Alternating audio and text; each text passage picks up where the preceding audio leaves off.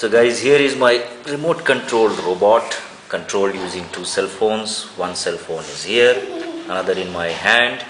Uh, it goes forward, reverse, left and right. So let's see how it happens. So I make a call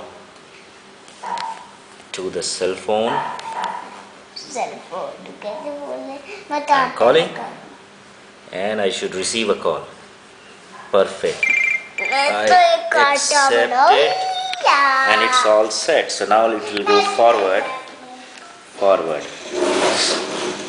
Now I so button 2 is forward button 8 is reverse. It should come reverse.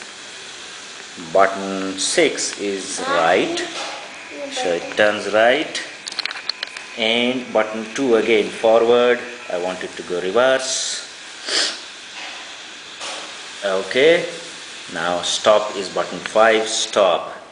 Take a left which is button 4. Then go forward. And here it goes forward. Keep going, keep going. Okay, so now I want it to come back, stop and come back. So stop, come back, come back. Okay, stop, take a right.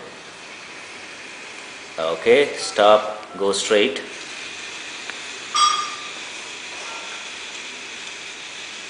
That's it.